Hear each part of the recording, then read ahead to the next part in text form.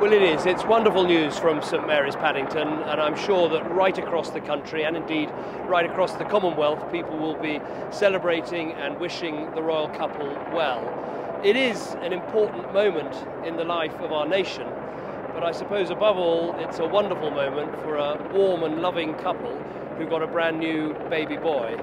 It's been a remarkable few years for our royal family, a royal wedding that captured people's hearts, that extraordinary and magnificent jubilee, and now this royal birth, all from a family that have given this nation so much incredible service.